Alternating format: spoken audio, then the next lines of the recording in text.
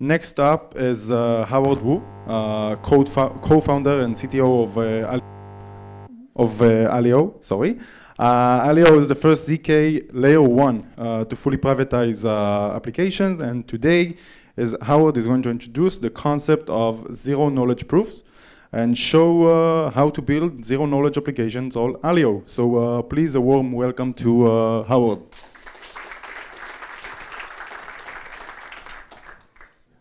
All right. Um, hi, everyone. My name is Howard. Uh, I'm a uh, co-founder and CTO of Aleo.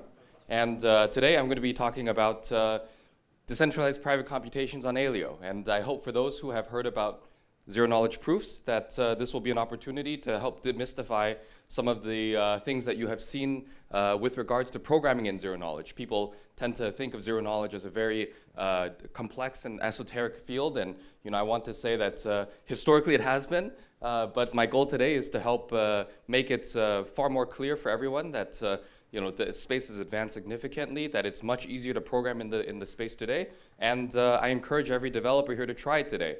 Um, this talk will be broken up into two parts. So the first half will go over an introduction to zero knowledge proofs, an introduction to Aleo itself, and the developer stack that we're building and then we'll take a quick five minute break, and then we'll transition into the second half where we'll go into live demos. I will be presenting um, applications uh, live on screen for you guys, and we'll also give uh, an opportunity for everyone in the audience to follow along with GitHub repos. So um, if you have brought your laptop for the second half, you can install our tool stack with us, and I can run examples with you guys together. And so uh, with that, uh, we'll jump right into things uh, right after we get this technical stuff figured out. Okay, so let's get started. Um, was born out of a research project, actually, from many years ago. Um, originally, the intuition that we had was to say, you know, could you build a new L1 that could be both fully programmable and fully private? Um, if you think about Bitcoin today, it's very low in programmability, very low in privacy. Ethereum went one direction to offer high programmability. Zcash went the other to offer high privacy but there was this upper right-hand quadrant of high programmability and high privacy that was really missing in the market. And so we, we as researchers had said, could we devise a purely cryptographic, purely mathematical scheme to, to actually solve that, that part of the, the space. And, and that was where Zexe was born. Zexe stands for Zero Knowledge Executions. It was a paper that we published in Oakland 2020, and it, it basically allowed you to design a protocol that could be for decentralized private computations. Now, today, what I want to talk about are really three, three things. The first is, I think there's been a lot of buzz about zero knowledge proofs and ZK snark specifically. I want to demystify what this means by introducing to you the technology and explaining to you how it works. The second part is to say, I want to show you how to use zero knowledge to go and build a layer one off of it. And lastly, to show you how we instantiated a zero knowledge, uh, a ZKL1, um, which we call Aleo. So let's begin. I think it's important to start by saying cryptography is a very powerful tool. I think for those in this audience, they already recognize and you, you already have seen this in the wild today. Um, but today, cryptography is really used to offer security properties for data. And what I mean by that is that when I want to send a message from me to you, um, I want to make sure that the contents are private. Uh, in order to do that, I use encryption in order to encrypt the data so that it doesn't reveal uh, to the other to, to outside parties what we are talking about. But in addition, we also use cryptography for authenticity. And what that means is that when I send a message from me to you, uh, you want to make sure that this message truly came from me and it was not tampered by some party in the middle uh, who potentially could have compromised the contents of that message. From that perspective, we haven't really thought about computations, and cryptography has not been used heavily in the in for computations. And so the question is, what about security properties for it? Well, we have this new field called cryptographic proofs. Cryptographic proofs offer privacy-preserving integrity for computations. That's a lot of words to say something very simple, which is to say, I want to securely compute y such that f of, uh, such that f of x is equal to y, and I want to be able to convince another party that I actually computed this correctly if you dive even further, there's actually an, an, even more specific type of cryptographic proof called a zero knowledge proof. And a zero knowledge proof is a privacy preserving cryptographic proof of computational integrity. Again, a lot of words to say something quite straightforward, which is that I know x such that y equals f of x. In this case, x here is red because what I'm trying to convey is that x itself may be private. When you're, when you're in an online setting on the web, a zero knowledge proof can be very useful because, well, first off, you want to convince other parties that I know something or, or that I did something and have others be able to quickly check that that's true. But oftentimes when you're on the web, you also don't want to reveal your personal data in order to convince another party of some outcome. And so this is an opportunity to use a technology to actually hide my inputs and still convey the same outputs. In English, the short is to say, I know the secret. I can't tell you the secret, but I can prove to you that I know the secret. And I think that this is the essence of what, what zero knowledge proofs is really getting at. To show you an example of this concretely, let's take, for example, uh, the, the fun puzzle of Where's Waldo. It's a very canonical example when explaining zero knowledge proofs. Um, I have here a map of Waldo. What I would like to do is for you to prove to me that you found Waldo without telling me where he is on the map. If, if you just, you know, the, the naive solution is to just point on the map and show me where Waldo is, but then it's no fun for, for, the, for the other person because they now know and, and they can't play this game. But maybe they want to be convinced Waldo's really on this map. You know, maybe there's some sick April Fool's joke where people put these where, where's Waldo maps on the internet with without Waldo in it. It's like this is not a it's, it's, it wouldn't be a fun fun experience for anybody. So um, uh, th this is an example where uh, if you want to actually convey this exact property, what you do is you'd get a giant sheet of white paper far bigger than the map and you'd cover the whole thing you'd cut a little hole out that's centered right on where Waldo is, and then you'd have this other person come into the room and have them look at that hole and see Waldo is really there on the map, and then have them take a step out of the room, remove the white piece of paper, and have them come back into the room, and they see the entire map again. From that perspective, the, the onlooker who came into the room would not know where Waldo is on, is on the map, but they would be convinced that Waldo truly exists on the map. And that's like a very simple human example of a zero knowledge proof. Let me give you one more example. This is called the Alibaba Cave. This one's also very classical. Um, it was originally published in a paper from 1989 called uh, How to Explain Zero Knowledge Proofs to Your Children. Now, I'm not sure who's explaining zero knowledge proofs to their children, but uh, you know, I applaud them for doing that. The, the example works basically as so. Um, you have this cave, and there's two parties. There's Alice and there's Bob. Alice walks into the cave and can pick with a coin flip whether to go over to A or to go over to B. Once she is in the cave and has picked a side, Bob will flip a coin, and Bob will say, hey, I want you to come out of side A. Now, if, if Alice is inside B, she must have a key to open a door that can let her come out on side A. The reality is that if she has the key, she can open the door and she can come out. If she doesn't have the key, then with probability one half at that position, she may or may not be able to come out. And so this, this shows to you that by flipping coins and coming into the cave and then having the other party challenge you to say, hey, I want you to come out of X side or A side or B side, um, you can play this probabilistic game that eventually you'll be convinced as Bob that either Alice truly has the key and can always come out the right side because she has the key, or she really cannot come out, come out because she doesn't have the key. So that was a very high level way of explaining zero knowledge proofs. Let's dive further in, into a lower and more technical level.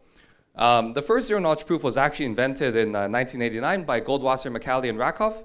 And uh, in that model, there was two parties. There was someone called a prover and someone called a verifier. The prover had knowledge of that function f that we talked about, the claimed output y, and also a private input x. The verifier, who is of equal size, has a function f and a claimed output y. What happens is that the prover will say, hey, I know x such that f, y equals f of x.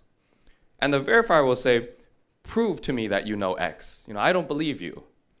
And what happens from there is that the verifier will send a challenge over to the prover the prover will send a response back, the verifier sends another challenge, the prover sends another response back. It's this interactive protocol where he basically starts to play similar to the Alibaba cave, where you start to play this game where you say, go into the cave, come out one side, go into the cave, come out the other side, go into the cave, come out this side. It's, an, it's a game to basically get you to convince the other party that indeed you actually know some secret, like I have the key to the door.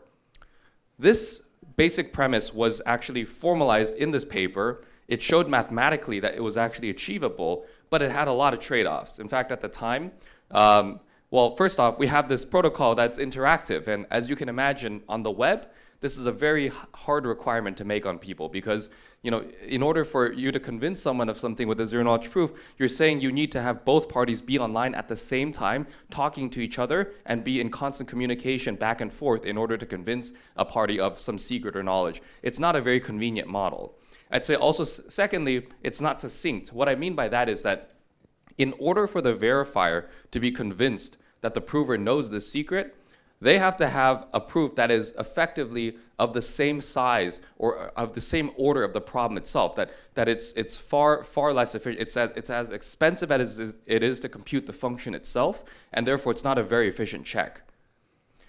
Lastly, of course, is that it's poor efficiency, that the prover himself to actually like convince the verifier has to do a lot of computations. And so we actually evolved from there, and in 1994, Silvio Micali published a paper that showed the first succinct non-interactive zero-knowledge proof. What do I mean by that? Well, again, you have a prover, and you have a verifier. In this case, the verifier I've drawn to be much smaller because the verifier is now succinct. In this model, the prover once again claims, hey, I know x such that y equals f of x. And the verifier once again says, prove to me that you know x. Now, instead of going back and forth, back and forth with random sample challenges, they use something called a random oracle. You could think about it like SHA-256 or like Poseidon. The idea is to say that both parties establish some type of a hash function that they all agree upon with a starting input, and they can simulate that type of interaction that they were doing before without needing to actually communicate in real time with each other. This saves on the amount of work, this saves on the overhead, this, this removes the interactivity requirement, and at the end of the process, the prover only has to send over one proof over to the verifier. This model that I just described is actually the first ZK snark. And now you may be wondering, what is a ZK snark? So let's, let's talk about that.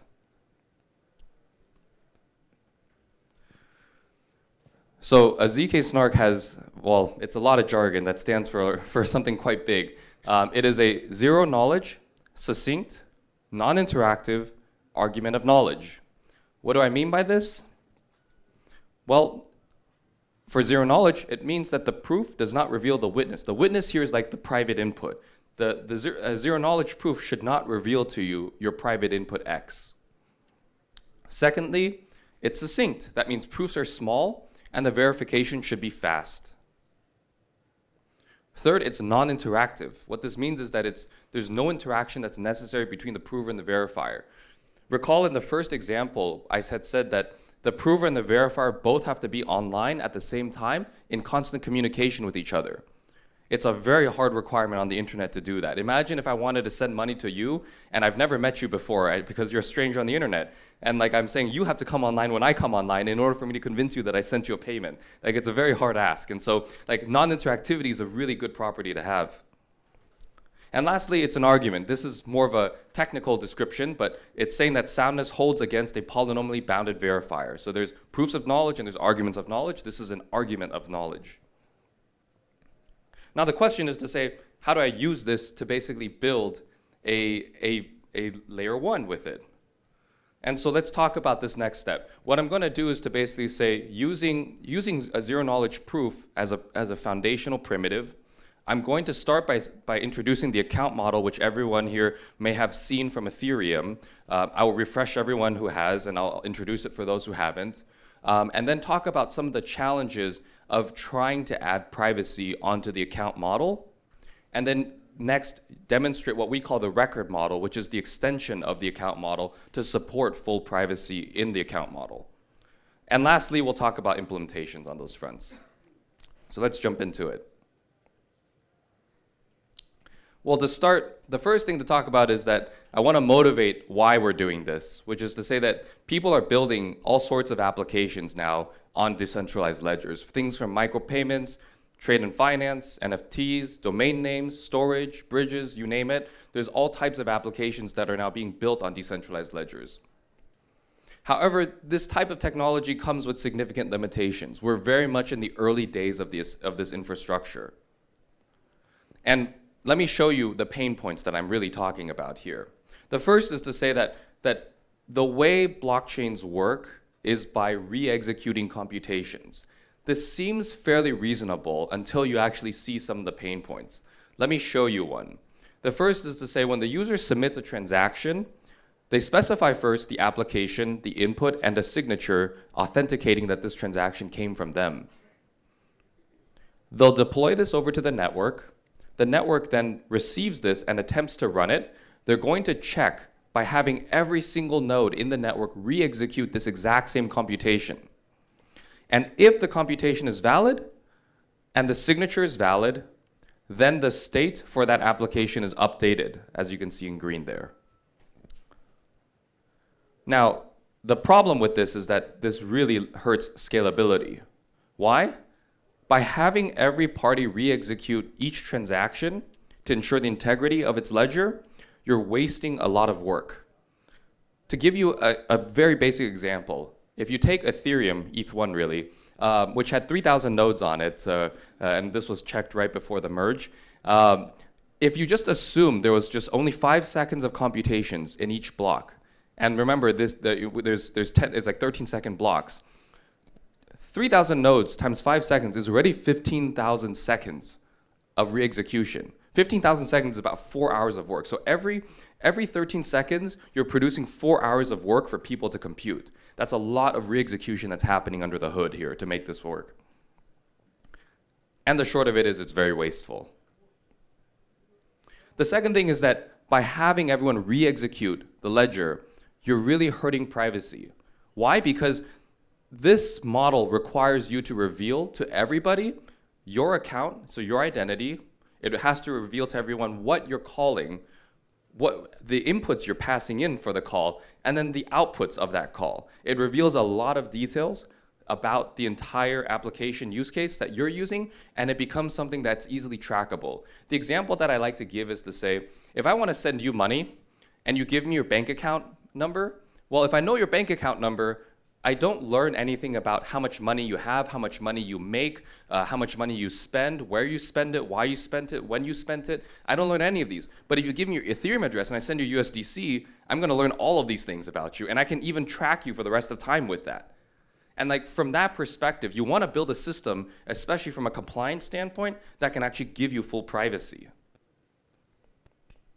It would also be really weird if like you're, if you're married and you want to buy an anniversary gift for your spouse, and they can just look uh, at your account and see how much you spent and where you spent it, and also when you remembered their anniversary was coming up, it's, uh, it can be kind of awkward. So I think that there's a UI UX component here to privacy as well, but I just thought I'd bring it up. I hope this helps to motivate the idea. Um, and so we, we built something called Aleo. Aleo itself is an autonomous ledger executions off-chain. The idea is to say, I can build a decentralized ledger that lets you execute programs off-chain and then finalize state on-chain. The benefits of a system of this is that one, you get scalability. Why? You don't have to re-execute anymore. People can execute themselves, produce a zero-knowledge proof, and then send it to the network. The network only has to check a proof, which is very small, and I'll talk about that here. But the second thing is that you get privacy. So in terms of privacy, because you're executing it off-chain, no user data has to actually appear on-chain. You can obviously disclose it on-chain if you wish, but that's up to you. And lastly, it's succinct. And so there's a mathematical kind of basis to it that says that transactions can be validated in poly-K time, but the short of it is, is to say that transactions can be quite small, about a kilobyte, and they can be verified very quickly in less than 50 milliseconds. This gives you a more performant system that also offers you far greater privacy. And with respect to the programs that you can build on here, what we offer is the ability to have user-defined programs while executing them in a sandbox environment so that malicious programs can't infect or impact honest ones. And lastly, offer the ability for inter-process communication, that programs can talk to each other if they want. So to see how we got there, let's start with the account model. The account model is the Ethereum model that I think many people have heard of or are familiar with or have interacted or helped contribute to. And the short of it is that the account model is a decentralized ledger that tracks each account via global state. So let me just show you what it looks like. You know, a user typically comes and says, hey, like I want you to execute this thing for me. Here's the transaction, and I signed it. Then it gets put into a block. The block gets put on chain. On chain, every node says, oh, this computation is valid. Let me update my global state. So you see the state transition here. They, there's some account that they're referencing with some balance. There's some code for it and some storage. And then they make the transition, and we have balance prime, the same code as before, and then storage prime. It's like the state update that they're making. That's the account model in a nutshell. What are the trade-offs? Well, first off, the great thing is that it's very simple. Why? Because it's by having this global state, it's easy for everybody to just see, ah, like there's this one place that the data truly lives at, and we can each interface with it, and there's you know a network that's going to go and manage it for you. It's very simple. It's it's great. But there's also trade-offs, right? And we've seen this in practice. You know, the problem is that there's real there's a real scaling problem, uh, and, and in fact, there's also a very high fee problem. That is the the dual, the the direct correlation of it. It's saying that when a lot of people want to use it because it's getting popular, the challenge is now you're paying these exorbitant fees because it's you on top of the next guy, or, or, you're trying to beat the next guy to the punch. And one of the weird things about Ethereum's model is that the, the next user that comes onto the platform is actually a net negative for the ecosystem because you're only making it harder for the existing users to transact in the system by having one more person come into the to the network. It's it's what I kind of call like the mainframe model. That in mainframes you don't want to timeshare too much because then no one gets a chance to actually get their time on the mainframe. And so like this is kind of one of the big challenges in this design. And, and of course, I've already alluded to this a few times, but there's, there's no privacy in this model, that you can kind of reveal your state and everyone can see what's happening there. It's both a huge advantage, it's, it's a blessing and a curse, is, is the short way to describe it. So the solution is why don't we sprinkle some ZK snarks on it and just solve it once and for all? Um, the attempt that I'm going to start with is to, is to say, what's the most naturally motivated way to actually add privacy into the account model? Well, the intuition is I want to think private smart contracts. How do I do that? The first thing I might want to do is to say, that transaction that we were sending earlier, when we were sending the, the value, the data, and the signature and the clear for everybody to see, what if instead I committed to the value so that it's a commitment and it's hidden? Uh, I encrypt the data so that no one can read it besides me. And uh, I add, instead of signatures, we add cryptographic proofs uh, on the computation. Seems fairly reasonable. And for, for global state storage, that account that was holding the balance, the code, and the storage, you know, what could we do here? Well, one thing we could do is to say, let's commit to the balance on chain. So again, we hide it. Um, let's let's predicate this code. So let's turn this code into a polynomial, a mathematical representation, so that we can reason about it in a zero knowledge proof. And lastly, why don't we encrypt the storage so, again, no one can see the storage on chain? This seems like the kind of immediate intuition that everyone will go to in order to do this. And just to mathematically show this uh, very quickly, um, oh, not this one, but um, this, so this is the combined model, and to mathematically kind of show the intuition is to say, in each transaction, what would this proof actually be claiming then uh, for the computation? Well, we would basically be saying, hey, like we have some code here for this program that I want to run. Um, I have some state that is the existing state of that application on chain. I'm going to pass into it the commitment of that balance and also the encrypted storage that we just talked about. And what I'm going to do in a zero knowledge proof is to compute the entire state transition of the entire account. So what I'm going to claim now is that, hey, here's the old state. You can replace it safely with this new state. And this new state has some committed balance and some new encrypted storage state. That's the rough intuition of what, what I want to do. Logically, what am I really checking? I'm first checking that I'm not minting money out of thin air. So I need to check that the commitments of these balances still sum out to zero. So I'm not minting any new money out of thin air. The second thing that I need to check is that the code itself was executed correctly. And there's a very formal way to kind of specify that. But the intuition is to say, I want to create an, a runtime environment where I execute this proof system with this data. And this data will result in the correct state transition. So this sounds really good, right? Sorry to break your bubble, but let's see why this doesn't work. Um, the first thing is concurrent access is broken here. What I mean by that is this. Say user A comes and says, hey, like I want to create a transaction to update program A. Great, no problems there. But at the same time, remember, we had to take the entire state in. So the second guy comes and says, I also want to update this program A. Well, the problem is their state's going to be invalidated. They can produce a zero knowledge proof that's correct for this transaction and send it. But the problem is that the state is going to be invalidated already because the first guy just ingested the state and produced a new state transition, and the next guy was still using the old state. It will look like a double spend. That's the main problem. And of course, there's no privacy in the account model. I don't know how many more times I have to emphasize this one, but um, everyone can now see that user one updated program A. That's, that's the main challenge there. So in terms of formally kind of thinking through these properties, there are a few benefits we already netted out on. The, whoops, the first is that um, we can use zero knowledge proofs to achieve succinctness, um, and we can achieve on-chain scalability. Why? Because off-chain, you can execute these things and check them very succinctly on-chain. So if I'm running a program that is, for example, gosh, I don't know, a minute to run, on Ethereum, this is not possible because you don't get a, a minute worth of runtime. You get 10 million uh, gas limits, and it does not add up to, to, to a minute. So, um, you know, here I can at least start to do that, which is cool. The second thing is you get data privacy, and what I mean by that is that we have commitments and encryption, and this is going to hide that program state so that at least the data that's stored on chain does not reveal to you, you know, to reveal to the public what you're doing. However, we don't have account privacy. Um, why? Because the addresses themselves can't be encrypted because it's called the account model. And the account model, by definition, has to index by your account address. And so like that is a foundational limitation of the system's design itself.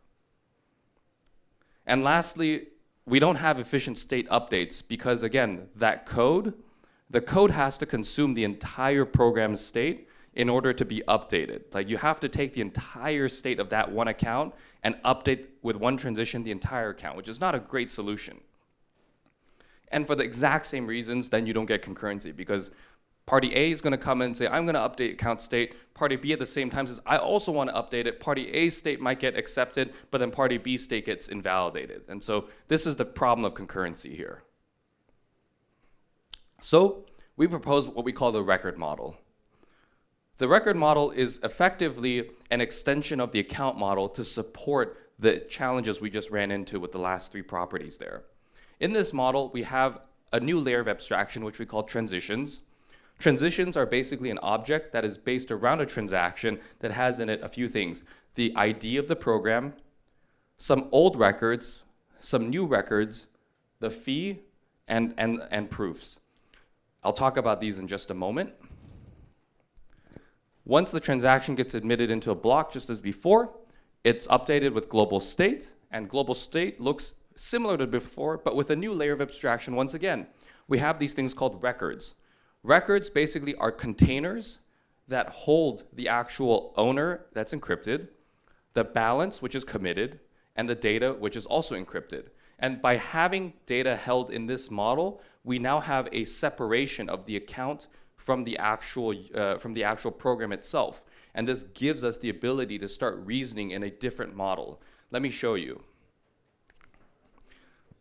The first thing that I'm going to claim is that this model gives you concurrency. What I mean by that is that users should be able to consume records associated with the context for their program execution. And I'm also claiming that there's going to be no double spends. What I mean by that is that the, the decentralized ledger should be able to enforce that no record can be spent twice. So that expression that we were talking about earlier, more formally, we have here now, uh, given the code predicates and also the records, we're claiming some new set of records. You can think about records like that state that we were just talking about. And when I'm checking, I'm once again checking that the value balance is being conserved. But now what the predicate takes as input is not the entire account's state. In fact, what it's taking is purely just the records associated with your account in that program. So by moving things into a lower level abstraction, I now can dedupe the account from the actual uh, state uh, that's owned by, by the global state system itself, and I can just produce proofs on the records themselves. This seems like a very, very simple abstraction. You'd be surprised how crazy complex it is to do in the math, but um, this, this, is the, this is the crux of the intuition there. And, and the benefit, of course, is because we decoupled the accounts from programs, then what you get is a decentralized ledger that can now index global state based on program IDs, not based on account addresses. And even more so, we get efficient state updates. Why? Because the code only needs to consume records that are being updated. And for the exact same reason, that means that two parties in one program will own disjoint records, and by owning disjoint records, they each can spend with the same predicates their state in order to produce new records without needing to bash with each other or inter intersect or interfere with each other. This creates a, a, separation of responsibility, a separation of execution environment. It gives the, the safety that we talked about in terms of isolation between honest and malicious programs as well. And this is the model that we use in order to actually achieve concurrency then. So the last thing which I want to get into is just how did we build this thing? What does it look like? and uh, and uh, you know uh, preface it for for part two, which is to say, what can you do with it? um, well, the first is to just say that building this thing was not easy. Uh, Aleo is at the intersection of a ton of disciplines, from mathematics to complexity theory, cryptography, computer security, and programming languages. Um, we, had to, we had to dive into many different facets of many different computer science disciplines and mathematics disciplines in order to go and actually achieve Aleo as a ZKL1.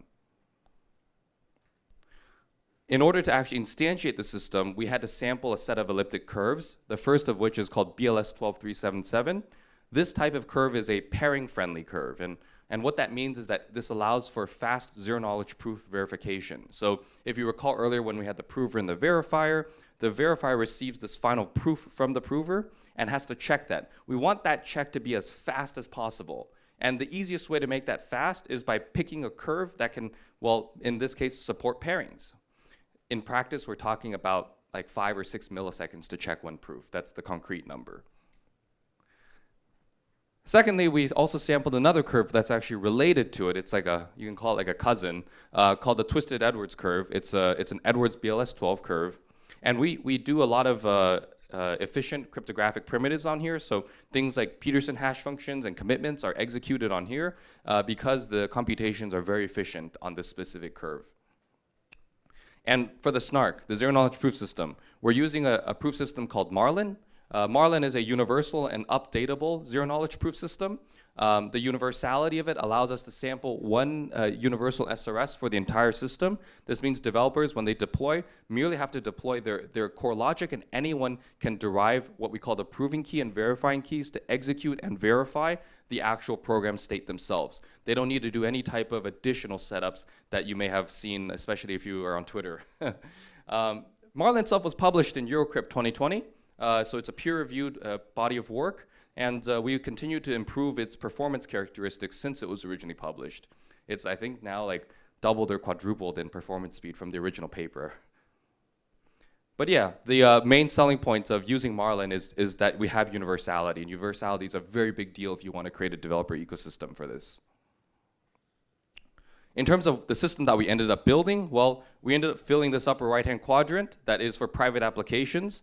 A system like this, because it can execute off-chain, does not require gas fees, and even more so, the thing that excites me the most as a developer is to say that I can write applications that take longer than, say, 100 milliseconds to run. I can write, I can write, you know, for example, machine learning code in this that can now run on a blockchain. Why? Because I'm not bounded by re-execution of, every, of everybody. If everyone had to re-execute my deep learning model, you know, tough luck. Like we'll be, we'll all be stalled here for, for the rest of time. So like th this is this is the biggest value proposition in my opinion as a developer. It's that expressivity to be able to write programs that are far more performant, far more interesting than what we've seen in smart contracts today. And I'll show you some examples in, in part two.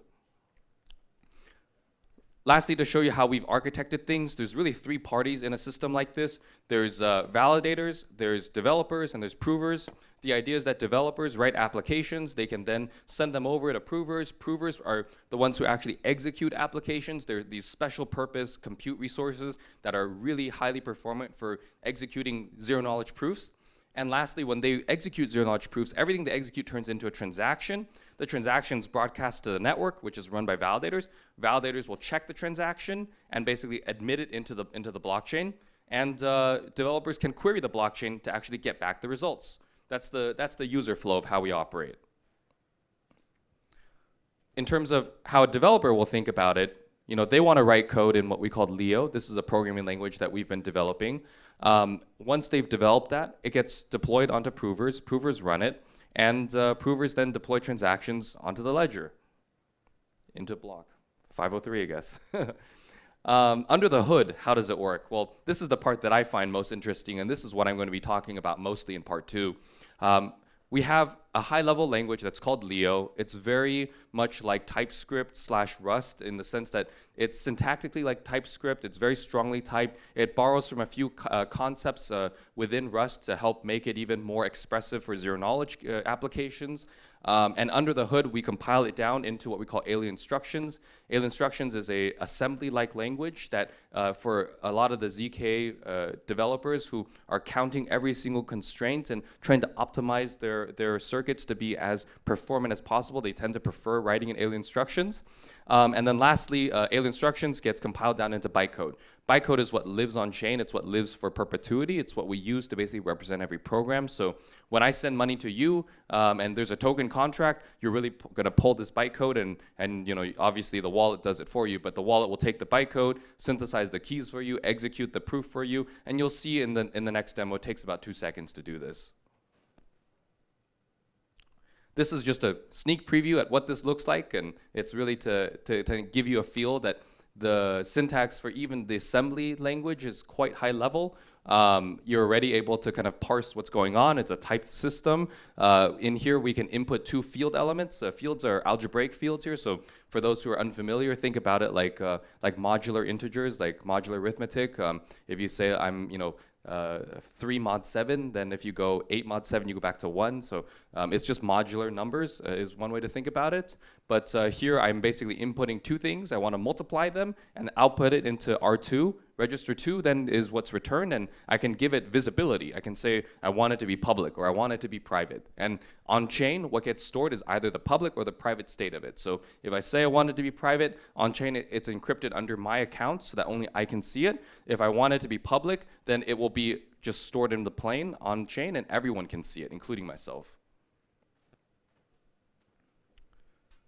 All right, so we're, we're going to break for part two. Before we do that, the first thing I want to say is Aleo is proudly written in Rust. Um, it's open source. Uh, there's 40 plus contributors, 65,000 plus lines of code and growing, uh, which sometimes can be fearful. um, we are proudly open source as well. It's all available on GitHub. Um, and we just launched testnet 3. Testnet 3 is now live for those who are interested. Um, stay for part two. We're going to go through the, a lot of the development fronts. Um, there are developer docs available at developer.aleo.org if you want to try it out there. Um, and uh, lastly, uh, for those who are sticking around for part two, one of the things that we did ask uh, was to try to install the prerequisites, but for those who have not uh, done that yet, no problem. Um, I'm going to leave this up for, for the next five minutes uh, uh, just to say that there are some prerequisites that you're going to need. You're going to need Git, you're going to need Rust, and you're going to need an IDE, preferably VS Code. Um, what I'm going to do is basically do a live demo of six applications. Um, and you're welcome to follow along on your, on your machine as well. We'll go through this in just a bit. But um, yeah, with that, I just want to say uh, thank you and, uh, and stay tuned.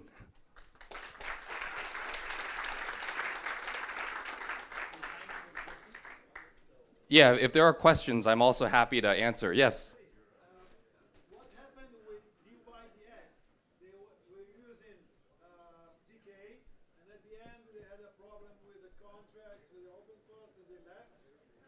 That's a great question. Uh, so I think one of the so I, I, personally am not at the heart of that that particular discussion, but from what I've learned and from what I've seen, I believe performance was a big issue. אם אפשר לא לקום בבקשה, האירוע מצולם ואתם נכנסים לתוך הפריים. תודה, סליחה. I, I believe performance was one of the big issues there. Like, you know, as you know, ZK snarks have uh, taken a long time to get to, to uh, well, real world performance. And if you actually look back when Zcash first launched in 2016, uh, the first version of Zcash, to, and that's just to send payments. I just want to send a token from me to you. It took about two minutes on my MacBook, and my MacBook was crying by the end of those two minutes. It, it was a very painful experience. And if you fast forward just two years later to 2018, uh, Sapling came out, and in Sapling, sending payments was really, really fast. Uh, it was about three seconds on a mobile device. Like that's how quick it, it advanced. And like now we're in 2022, which is four years since then, and ZK has gone even faster. There's there's there's someone should should create it, but there's like a Moore's law of ZK that's happening. And you know today I would say ZK is reaching that point where you're competitive enough to match Ethereum's uh, throughput. But I believe that if you just fast forward another year or two, you're going to start to see these doublings continue, where like traditional software stacks won't be able to in in the in the crypto space won't be able to outperform the ZK bits there. That that's for me, from my perspective, that we're just very early and in, the, in their particular case, there was probably sensitivities with regards to the performance and throughput. Yes? How decentralized? So, so Aleo itself is a, uh, it's a uh, well, it's a proof of stake based system. It's a BFT based system. Um, in order to run a system like this, anyone can be a validator, um, and anyone can run a, run a light client. Anyone can run a full node. Um, I would say from that perspective, it's fairly decentralized uh, in the sense that we're permissionless and it's open. Um, granted, because it's a BFT system, block producers can only be restricted to a very small number, like a few hundred, a few hundred nodes can actually be block producers in that model. Um, and this is true of any any proof of uh, stake-based system. But uh, I would say that we we are no different from existing L1s that are decentralized out there. We currently have a few hundred nodes on the network for testnet 3. In testnet 2, we had 12,000 nodes on the network. It was pretty wild. Uh, we, were, we were up there next to Bitcoin, uh, but testnet 3 just kicked off and we'll be running it for the next few months. And so I'm very much looking forward to seeing network activity and seeing what people do. Also, you'll see a lot of people do funny business on there, trying to game things, and it's, it's, always, a, it's always a fun experience to see what people try. It also helps us battle test our stack to be better. Uh, yes, uh, uh, yes, yep. Great, great question. So the, the UTXO model allows you to do concurrency, but one of the biggest challenges is unless it's purely for payments, it's really hard to reason about programmatic logic in the UTXO model. I think you've seen with a lot of uh, with a lot of uh, communities who are building uh, smart contracts onto Bitcoin, um, they have to move it into side chains in order to do far more expressive logic. And for us, one of the things is to say that even if you can do that, the problem is there's no easy way to say I have global state about the this specific program. Like if I want to do Uniswap and I want to aggregate the state of everyone's token contribution, so I can say how much is in reserve A, how much is in reserve B, and I can take those numbers to compute the constant product formula. Like I don't have an easy way to accumulate that state in in the UTXO model. In the account model, it's very easy. Why? Because it just lives right there, and the, there's one number that everyone globally updates. And so for us, we said we need to start from from something that can actually accumulate state, and then reason about how to give concurrency from that here. Mm-hmm. Yes.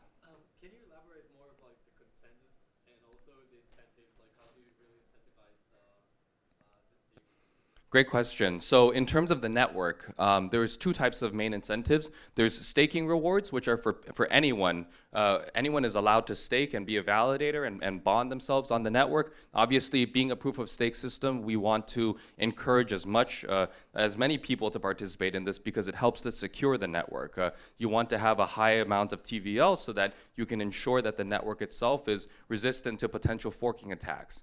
Um, I'd say on the other front, we have what's called a Coinbase reward. So Aleo will be launching its mainnet soon in the, in the coming year. And um, with that, uh, we have this puzzle. It's a Coinbase puzzle. The puzzle itself is meant to improve the performance of zero knowledge proofs and allow anyone to run what we call a prover. So a prover is similar to a miner in the sense that they're basically computing a puzzle. In this case, it's a zero knowledge proof based puzzle in order to try to solve for that and, and add value to the chain. When every time they solve a puzzle, new, new coins are issued into the network. and this reward is massive to start and uh, decreases linearly over the first decade. Um, this is, for us, the way that we're introducing uh, supply into the system, and it's something that is open to the public. Anyone can run, anyone can participate in this. Um, currently, uh, this is something that we have not released yet. We're releasing it in phase three of testnet 3. So testnet 3 is live. We're going to be releasing the, uh, the BFT and the proving parts coming soon. This will allow anyone to try these parts on, on here right before mainnet. Yes?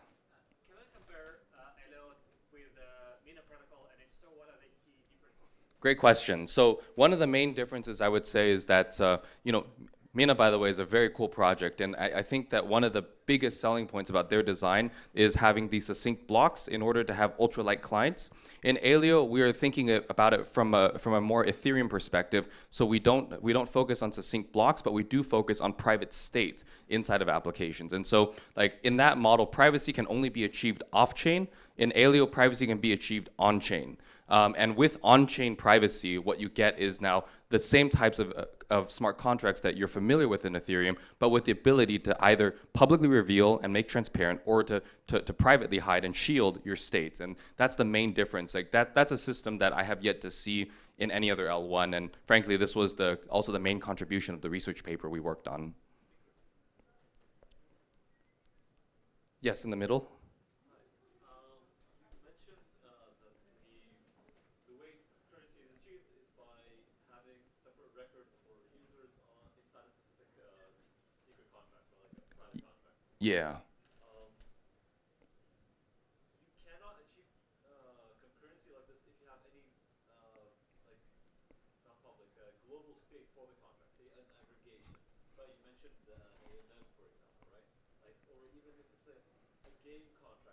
has yes. statistics being collected or whatever. This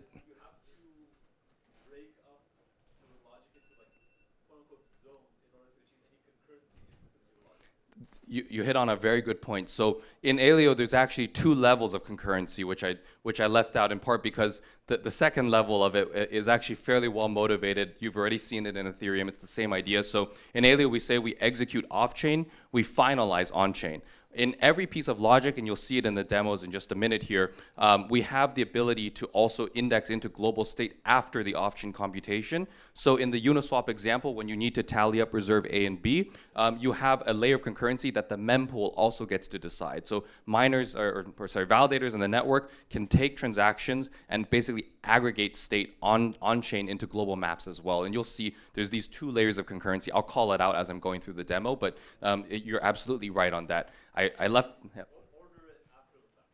Exactly, and and and you know, there's obviously a lot of discussions in terms of MEV and ordering, and one of the things that we've talked about is basically introducing the concept of sequence numbers into the transitions of a transaction, which then allows the application developer to immediately decide up front. You can use, for example, commit and reveal schemes to basically ensure that that ordering cannot be gamed. Um, there's many ways to, to reason about that, but the, the short of it is that, that there's two layers of concurrency. The concurrency I showed is off-chain concurrency, and then additionally, the mempool offers you on-chain concurrency, um, and this is the way that we handle it in Aleo. But it's a great question. Yeah. Any other questions? Oh, yes, in the middle.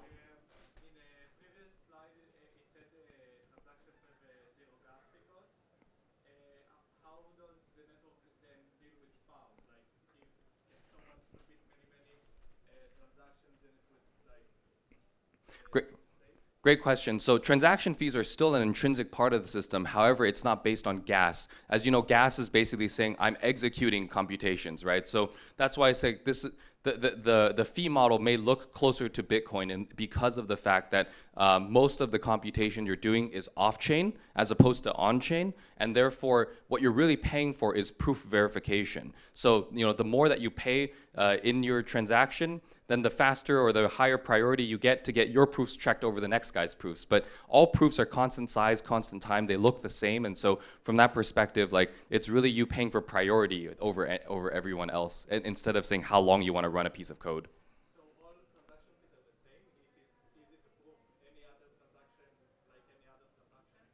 Yeah, so if you want to, uh, so the transaction fee is something that you can choose for yourself. So you can write how much you would like to pay in a transaction, and you can also bump the mempool to update the transaction fee in case you know there's a surge. But the idea is to say that um, because you're paying uh, what the network is doing is verifying the execution, not actually executing the computation, then what you're paying for is paying for verification. And so you're paying for someone to do your task, which is the same task as the other guy's task, uh, sooner than, than, than, than, than, than the other person. That's the main intuition there. Yep. Uh, yep, on the left. Yep. Oh, yeah, go ahead. Thanks. Um, if I understand this correctly, this does mean that for every given application or contract, there needs to be an online prover uh, running. That's a very good point to bring up here.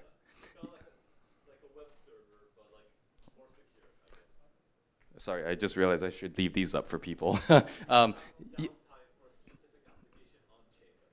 Great question. So in terms of provers, so the short of it is this. Um, you can execute it yourself. You don't have to send it off to a third party. That's kind of one of the biggest benefits of this design is that the prover is open source. Anyone can run it. However, for most applications, what I anticipate and what we anticipate is that you're going to want to send it to a third party to run it because they can either do it faster, cheaper, or kind of just hassle-free for you. Um, it's a lot like saying in Web 2, when I want to host an application, I could run the server on my laptop at home, um, but then I have to leave my laptop running and I, and I can't go do other things, right? So then you have AWS and you say, well, I could then deploy it on a server on AWS and host my application there, in which case AWS runs it for you, um, and, and it saves me from having to run it on my laptop and I can do other things with my computer. That's, that's kind of the main intuition in, on, on that front. But provers themselves, um, uh, um, like the user can be the prover, a third party company can be the prover. There's a delegation scheme in our model that I actually didn't talk about here that can also offer additional privacy guarantees when you delegate. Um, but nonetheless, that there's many ways that, uh, for provers to exist. And, and actually, every one of us with a laptop here in this next, uh, in this next part is also going to be a prover. If I'm an application developer, right, I want to run a service on Aleo, I want to run my business on, on Aleo, can I, say, run a swarm, like, I don't know, five replicas or whatever of my prover? yes. Basically, does it not double sign if I have, like, redundancy there?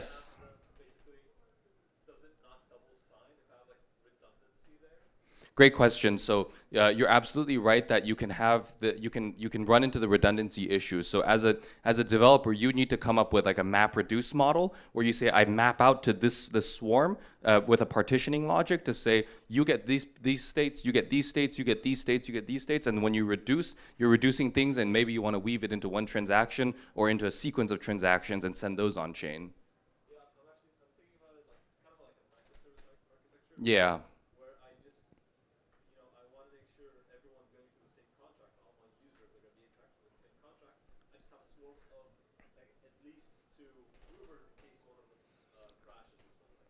That's a that's a very good point. So so one of the things that we've been looking at, for example, is doing an off-chain uh, off-chain uh, decentralized exchange, and what I mean by that is really a dark pool, right? Because when you have zero knowledge, you can make it fully private, and in that case, you have a bunch of users who are sending in state, and you want to execute this uh, simultaneously uh, for all of them, and you want to create the create the final updates on chain.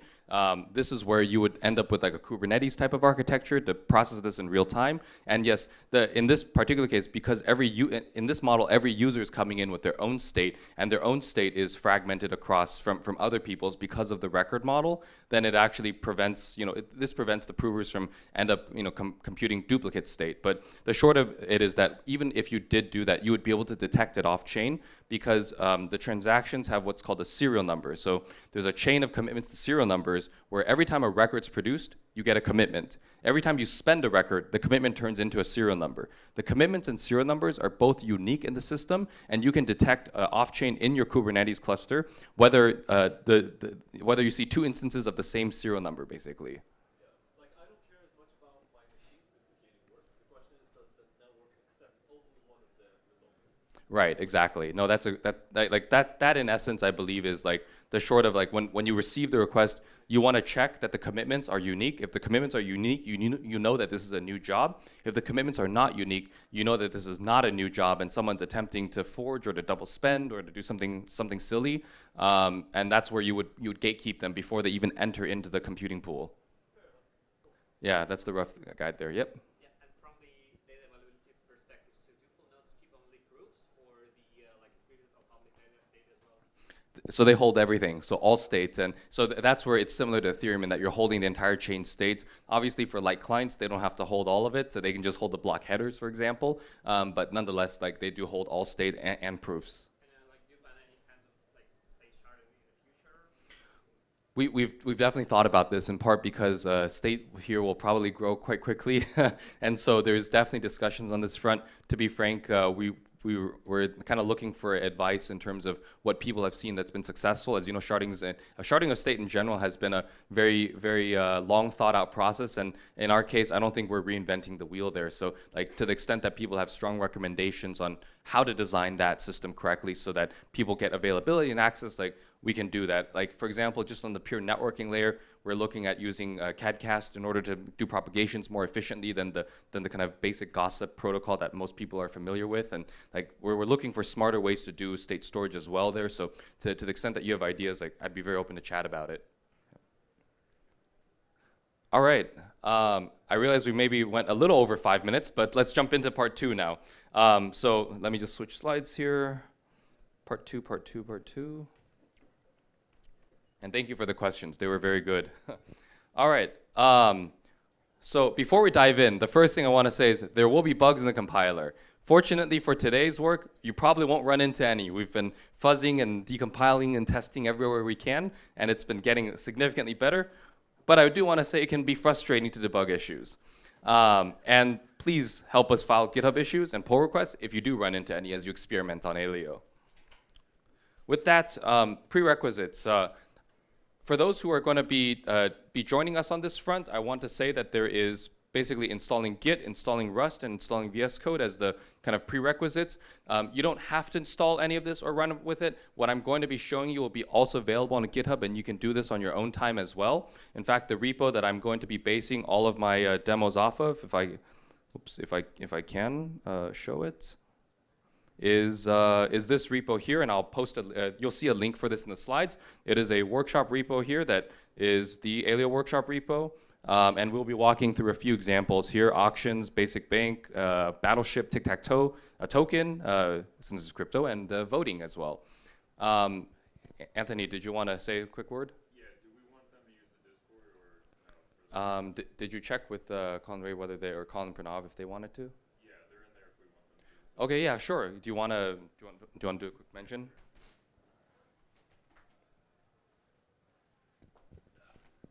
Hey everyone, uh, my name is Anthony. I'm head of growth at Aleo. Uh, basically, uh, during this workshop, if you have any questions or run into any issues, we actually have a channel in our Discord server uh, where you can talk with some of our engineers. So uh, the main thing you'll have to do is just uh, go directly to our Discord. So maybe I don't know if Howard, you just want to show them the URL. It's it's just discord.gg backslash.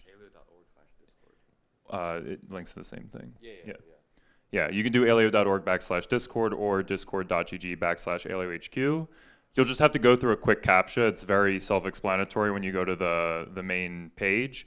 Also, if you didn't create a, an account on Discord, you'll have to do that, but also very self-explanatory. And then once you do that, there's a channel. It's just called Developer Workshop. So it should be pretty easy to find it, but just wanted to let people know about that resource in case you need it. Uh, yeah, that's the URL there, aleo.org slash discord. Um, you'll need to go through CAPTCHA, as he said. And basically, uh, did, did you mention the, the name of the, the channel? Yeah, it's just called Developer Workshop. It's called Developer Workshop. So if you go into Developer Workshop and you run into any compilation issues, any installation issues, just flag us and let us know in there, and we'll be happy to answer in real time there as well.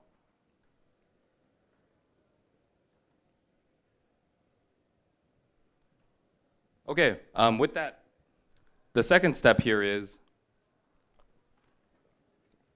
for those who have VS Code installed, um, I assume you will have already the code shortcut installed, but code is always a nice thing to have set up, so you want to do that. Um, the, the most important thing on here is to install Leo. So Leo is the plugin that we have here. Um, if you just go into VS Code and you open up the marketplace and you click on um, the, the marketplace icon, this guy here, um, it'll open up the extensions marketplace and you can type Leo in. If you type Leo in, you'll see a result, and you can basically just install the, the plugin here. This will give you syntax highlighting. There's an LSP for it. Um, it'll be an easy way for you to quickly uh, get up to speed on that front. And for those who uh, are also ready, um, we have this repo, which is the one that I was just showing. Um, if you just git clone uh, https github.com slash aleohq slash workshop, this will get you that repo into your terminal. Um, for those who are having trouble using Git um, or didn't install the prerequisites, you can also just navigate to this URL here and just click the code icon uh, on the upper right and click download uh, and download zip for it. And this will get it to you on your local machine as well.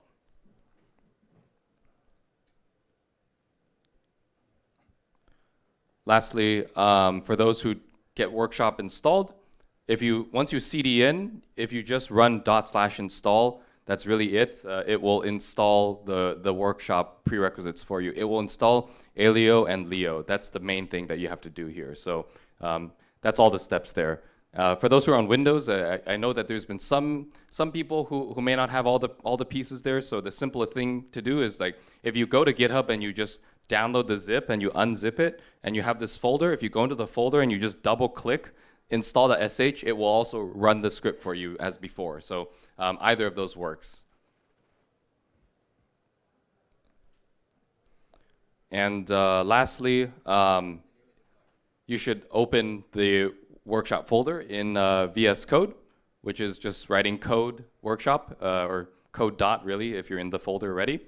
Um, and uh, for those who are having trouble, um, you can also go to VS Code, File, Open Folder, and uh, select the workshop folder from your computer and open in VS Code so you can follow along as well. Um, I'll be showing it on screen, so this way if you want to run, run it locally, you can, but also if you, if you want to just watch me do it, by all means. all right, let's jump into it. Um, while, while everyone is installing that, and also for those who have questions, just ping the Discord and we'll repeat these steps there as well. Um, I want to go through how this programming model works, what Leo looks like, what Aleo instructions look like, what the AVM looks like, and then from there we'll jump into the live demos and hopefully by that time everyone will have software installed on their computers and we can run it together. That's the goal. Um, the first thing to talk about is just deploying a, a, program on Aleo. The short of it is that deployments happen in transactions, similar to kind of how existing uh, uh, existing L1s work. Um, you basically take your bytecode here, you pack it into a transaction, transaction gets broadcast on chain. Uh, validators on the network will check that the transaction with this code is well formed. If it's well formed, it's added into a program registry on chain, it's held there, and then anyone can then from chain pull that program, and in our case, this is where it's new, you can synthesize proving and verifying keys. What are proving and verifying keys? That's basically for the prover and for the verifier. Like that's, if you recall from, from the first few slides on zero knowledge proofs, there's always a prover and a verifier. Here we have the keys for the prover and the verifier. The next step is uh, to execute the Aleo program off-chain. So a caller, some, some local machine can say, hey, like I want you to execute this program. Um, you can send it to provers. Again, you yourself can also be a prover. And you can execute this program based on you know, state. Provers will execute it typically on dedicated hardware, so it can be anything from GPUs up to FPGAs to ASICs, uh, so that it's faster, more performant, more cost effective. Um, and then they'll output a transaction. That's the execution itself. Once that transaction execution is created, as you can see here, then it gets sent over to the network. Validators will take that transaction, they'll run it on, on the finalized portion of it, so that's the final layer of concurrency there, and they will basically store state on chain because the account model that we have or the account addressing scheme we have is already a PKI, a public key infrastructure, um, you can then encrypt that state under the account owner as well. Um, but nonetheless, that the caller's uh, response is now available on chain and you can pull it from there. For, for developers and for provers and for validators, there's three different GitHub repos that we use. So if you're a validator, you really want to look at SnarkOS. SnarkOS is the network. That's what gets you onto testnet 3 at the moment. Um, for provers, uh, there's SnarkVM. Snark VM is effectively this uh, the, the, actual virtual machine. And uh, for developers uh, who want to get into this space and code, like they want to install Leo, and that's what the workshop tutorial is going to be installing for you there. Um, okay, so on a high level, you saw this slide earlier. Leo code compiles to Aleo instructions. Aleo instructions compile down to AVM bytecode. And uh, to, let me just start by talking about Leo. So, what does Leo look like? I'm sure everyone's dying to know. And so, the first thing is to say, this is what Leo looks like. You have here um, a scope that says this is for a program, and I have function main with public input x, um, which is a U64, and some public input y, which is another U64. I can say let z equal to well x times y, and I can and I can return z, and z itself is returned as a U64 here. This is on a high level what this syntax looks like. As, as you can see, we don't need to denote y to be private. Uh, it's private by default. And so uh, if you want something to be public, you have to specify it to be public. This is similar to existing programming languages. Um, so yeah, this just describes what I just said. Uh, you're multiplying x and y into z and outputting z. In Leo, there's 16 uh, primitive data types. So there's algebraic types like field scalars and groups. Um, there's binary types uh, like a Boolean. Uh, there's data types like uh, address and string. And then there's integer types, signed and unsigned, as you would expect. Lastly, Leo also supports custom types. So there's two types of syntax which you're going to see in the examples. There's something called a circuit and something called a record. These are the two different types of custom structs. Records are owned objects, circuits are not. Um, and so these are, the, these are the two types that allow you to then custom define new, new data objects with it.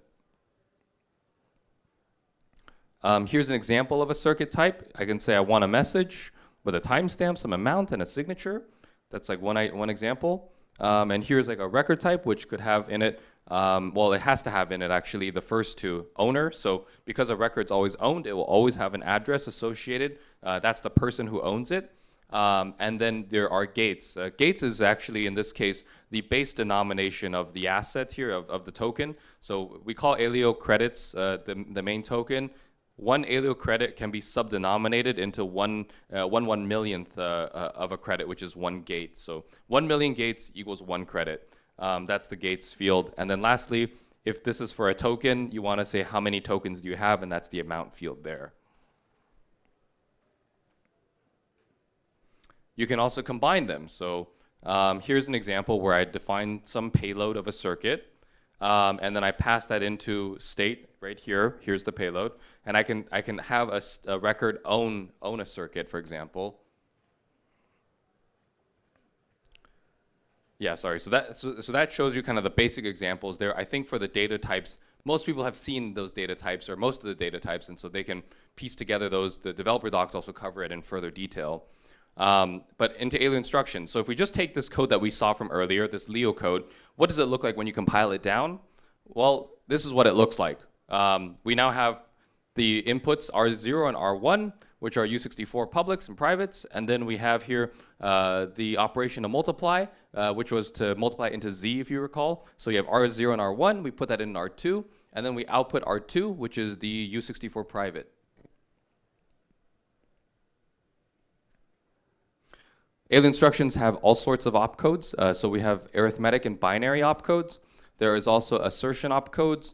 There are conditional opcodes. There's comparator opcodes. There's commitment opcodes. There's hash function opcodes. And there's also new opcodes being proposed at the moment. So there's a lot of opcodes. Um, the idea here is to allow you to then build your own custom expressive language, which may be Leo, may be something else. Um, you get to kind of extend it how you want because there's many domain-specific applications that may not need all the opcodes or only wants a subset or wants to provide expressivity that's very restricted or bounded. We want to make this Aleo instructions um, the kind of starting point for where you bridge off into your own DSLs as you wish. Um, from a high level, Leo is meant to be kind of one opinionated form to show an easy way for people who are JavaScript developers how to get into the space quickly. Um, but obviously, for many many types of applications that you know deal with maybe regulation or deal with uh, PII or specific you know uh, sensitive data in general, you know th they can use Aleo instructions to create a DSL of their own kind to kind of satisfy their own needs there. And lastly, with respect to the uh, AVM bytecode, um, so if we just take this again, well, I mean, it won't be any surprise that when you compile it down, it looks something like this.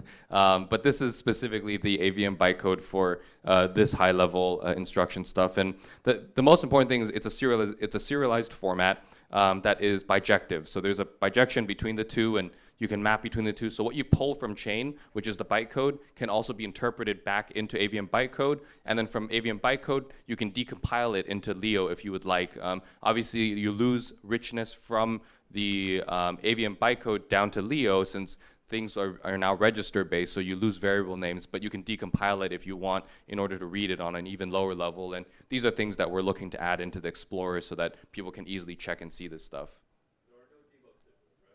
Yeah, there's no debug symbols there. Yeah. No tracebacks. It's a, it's a pure mathematical model. Everything here compiles down right into polynomials. It's a very, very unique stack. So when people ask, why did we build a new language? You know, the short answer is that in traditional languages, you know, you compile down into a very specific form of bytecode that's executed on a CPU. You know, in our case, we compile down into polynomials that get executed in a proof system. And so it's just a different type of stack. And unfortunately, things that may sound cheap in a traditional programming language are actually very expensive in, in this context. Things that are very expensive in traditional programming language might actually be very cheap in a context like this because it's just a different domain you're working in. So it's different trade-offs you're working with now. All right, so let's jump into the demos. Uh, for those who are following along on their computers, like uh, the repo that I'm going to be using is the, the workshop repo. So um, that is this GitHub repo here, um, HQ slash workshop. Um, and I'm just going to be running it uh, uh straight so that you can see the examples. Um, the first one I want to go through is just tic-tac-toe. For those who are familiar with tic-tac-toe, uh, it's a game where you have zeros and X's and you're trying to get three in a row. Um, so let me do cd tic-tac-toe. I'm typing with one hand here, sorry. All right, uh, and if I just ls, um, you can see that there's a, there's a few folders here. Um, the most important one here is uh, in the source folder. We have here uh, main, uh, main.leo, and we have uh, a row. So a row is just what we define as one row in the board, which is a three by three grid. Um, and then a board is just uh, a composition of rows. Um, with that, uh, I can initialize a new board by just saying, initialize me a new board that, uh, that has here row 1, row 2, and row 3, each initialized to 0. And then we have logic here to check for, check for whether you've won. Um, and it's kind of naturally, naively just checking the actual thing. and you can also make moves, and we can also, again, sanity check the, the, uh, the state uh, is an appropriate move. Um, let me run this in order to just show you this working. And it'll, it'll show you each, oops, each step along the way. Let's just run.sh. So we start by just creating a new game of tic-tac-toe. And uh, as we're executing, the first thing we do now is to say, player one has made the first move. So player one place, places an X here, and we're generating a proof about that. Um, that's the proof here. You can see with the outputted execution of, of calling the make move function, uh, which is just this, this function right here. Uh, let me shrink this here.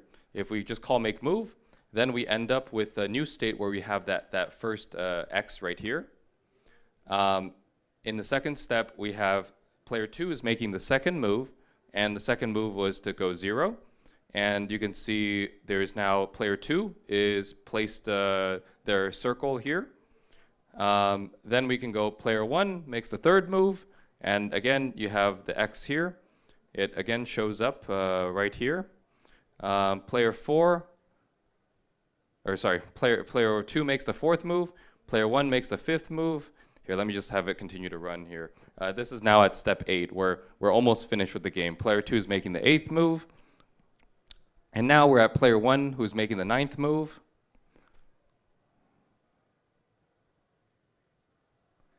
And we are done. The game is complete, player one and two tied in this model. Um, that should show you a very kind of quick example of how tic-tac-toe works in here. Um, basically, players are calling this function and making a move and passing the board to each other. You can see each time they're they're effectively returning the board, and the board is an owned is an is the is the owned struct that is then being passed around in order to actually instantiate and kind of create the next the next move. That's tic-tac-toe. Um, let me show you another example. So let's move up, CD up. And uh, let's go down to the vote contract. So if I go to vote now and close up tic-tac-toe, vote has in it, uh, the basic concept is to say, um, maybe we should go with the README here, uh, vote. Yeah, the, the, the basic concept is you want to do a generalized vote program. The idea is that someone can issue a new proposal. Proposals, uh, proposers can issue tickets to voters. Voters can then vote without exposing their identity. It's a, it's a, blind, it's a blind vote.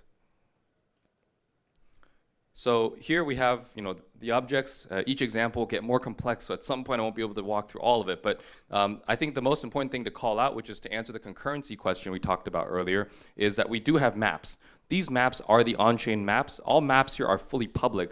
Um, and as you can see, uh, there are maps for, for um, the tickets that have been casted out, and then also the tally of the agree and disagree votes part. Um, these, these here basically form the premise of, of how you want to tabulate publicly the final votes without leaking off-chain who you voted for. So you can say when I'm voting off-chain, I voted for some party or, or to vote yes or no, and um, uh, that vote does not reveal the identity of who I am.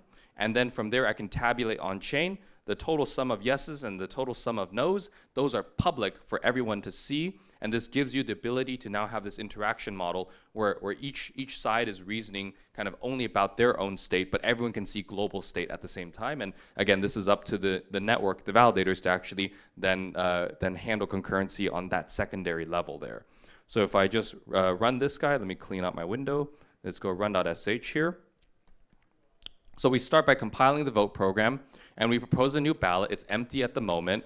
Um, we are basically calling this function propose in the vote.aleo contract. And uh, you can see we are starting by issuing a new ballot ticket. Um, by issuing a new ballot ticket, it places into it zero, zeros. Um, so uh, there's currently no yeses uh, and, and no nos. Um, and we're going to vote yes on one. And so we just call um, agree. Uh, the, the methods here happen to be agree and disagree.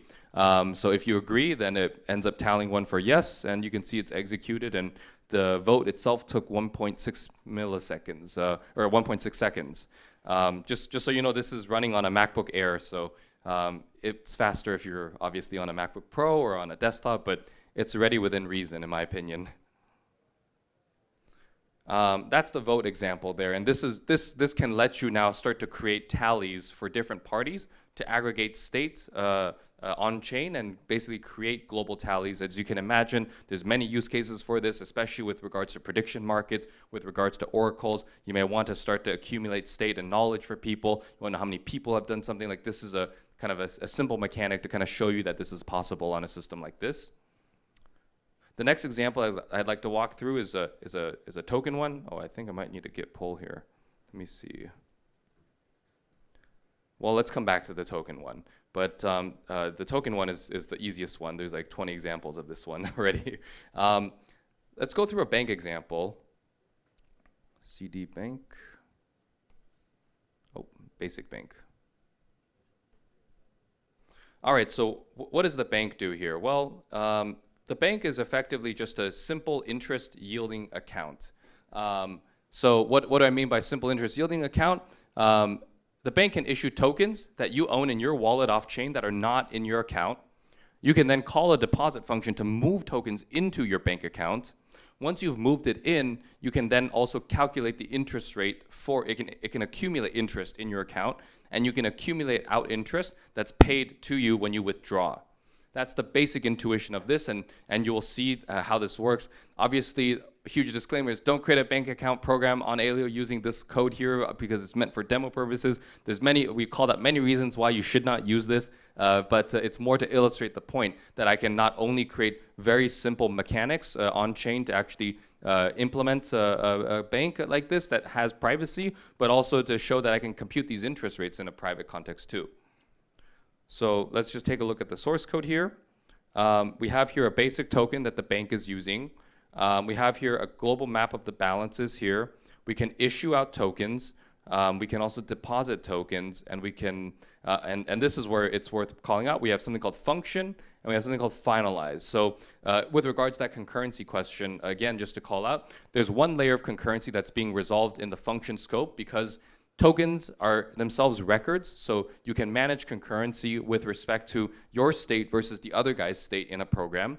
But even separately, finalize is what the network runs. So after you've completed this, then you, you end up finalizing, and, and when the network is finalizing this for you, it's effectively going to do an increment here. It's an operational transform, and, it's, and it gets to basically currently choose you know, how to order the increments if there's multiple parties um, uh, creating this. But as you can see, concurrency is available on two separate layers because of this.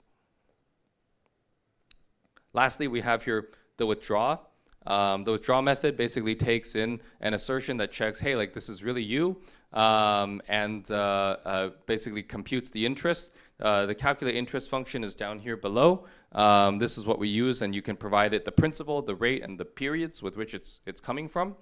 Um, and then you issue out a new token with the amount, and uh, again, you finalize by decrementing, so you remove their bank account balance from it.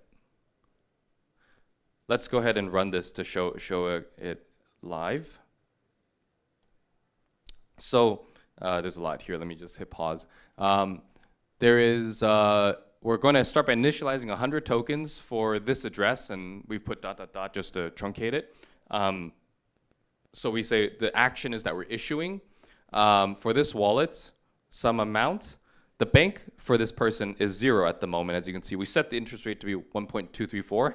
Um, and uh, the total balance for this guy is 100 right now. They have 100 off-chain in their own wallet. The bank on-chain does not have anything held. As I'm executing, you can see here's the first step. What we do, or the second step, what we do is we deposit 50 tokens. So now we're saying the action is we're depositing. Um, so we just debited 50 from the uh, users, uh, or the users themselves debited 50 from their account in order to deposit it into the bank. And from the bank, the balance is now, uh, the total is still 100, still preserved. Zero periods have passed, so no, no interest has been issued. Here we say, we, let's wait for uh, 15 periods. So we did no new action here. All we did was let time pass, and the balance has incremented to 266 based on the interest calculation rate of that function below. And the result is now 316 to uh, total tokens, 50 of which are off-chain, 266 of which are on-chain. And finally, uh, the uh, account can go and withdraw. So then, then this user says, hey, I want to withdraw all of it. They can call 266, um, and then effectively the wallet returns back the total balance of 316. They end up with 3 and 6, but the important thing is that the balance here is zero. That's been wiped out. That's the, that's the main premise here. Um, and you can see that the executions, I should probably be calling out the runtimes for these since that's a big deal for people. Um, issuing took about 1.6 uh, seconds on this MacBook Air, um, two seconds to deposit on the MacBook Air, um, and uh, four seconds to withdraw on the MacBook Air. So th these are still within kind of fairly, fairly human times to, to do it. All right, next I want to show a basic auction contract. Um, this auction contract is, uh, is a two-party auction where two parties can bid and there's an auctioneer in charge. So you have an auctioneer who starts an auction. Two parties will bid. Uh, one will bid a number that's higher than the other. The auctioneer will call out who the winner is. And then after the winner is called, then we are going to finish, uh, finish, the, finish the auction. And uh, just to show you what this looks like, there's a place bid where we say ensure the caller is the auction bidder. So um, this just checks that the address here is also self.caller. Um, we have here a resolve function, which is to resolve the winning bid. So you place in those two bidders and you just call out who the winning bidder was. And lastly, you can finish by just saying, hey, like, like let's set the is winner flag to be true here for this guy. So he's done and he can go walk and go claim his you know, prize or token or whatever he was bidding on effectively. Um, let's run this example.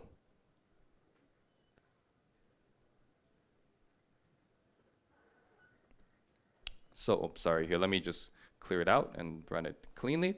All right, so we're starting by initializing a new two-party auction. The first bidder here is going to place a bid of 10, and uh, you can see it, oh, yeah, it's moving a little too quick. It's executing, uh, took about 1.7 seconds. Um, then the second bidder decided, hey, I want to place place a bid of I want to place a bid of 90. So he places a bid of 90, and now you have two bids. One is at 10, one's at 90. Um, the auctioneer can then select the bidding winner, um, and so that's the arrows here. shows that B uh, uh, uh, at 90 is the winner. And then uh, the auction, though, is still open. As you can see here, it's still open. So um, then we've basically resolved to finish the auction. And finally, the winner has been, has been deemed and the auction's been closed. Um, that's the basic example of just an auction contract here. Um, lastly, let's do Battleship. This one's quite quite uh, elaborate, and I would actually encourage for those who are very interested in Battleship to read through this because there's uh, it's a very very played out example. Um, I will just say there's a yeah there's many steps, but the basic premise is to say we're going to have two parties play a game of Battleship, and they're going to play uh, four rounds of Battleship for the sake of time here. Um, but uh, the the basic premise is that um, you need to start by having players uh, go and um, uh, place their pieces on the board. So party, the first party, the first player places their, their pieces on the board. Once those pieces are on the board, it's handed over to the next player. The second player takes that board, adds their pieces onto the board, and sends it back to the first player to now start the game. So once you start the game, you basically start adding, you, you know, you start taking hits, and and you, you'll see that you'll see uh, the, the play out of it from, from each side. They'll place four rounds uh, uh, of this game before we just halt it. Uh, it's already nine steps in, just to show you what it looks like. Um, but yeah, just to give you an overview, there's a there's a lot of instructions here, and you can and you'll see what the board looks like. So here's like an example of what the board looks like. It's just all zeros, and then there's uh, there's uh, there's a few ship pieces that you can see that are being placed here. So there's uh, these are being placed actually right next to each other. There's one of two, one of three, one of four, one of five, and so that's uh, four four ships, each of different sizes.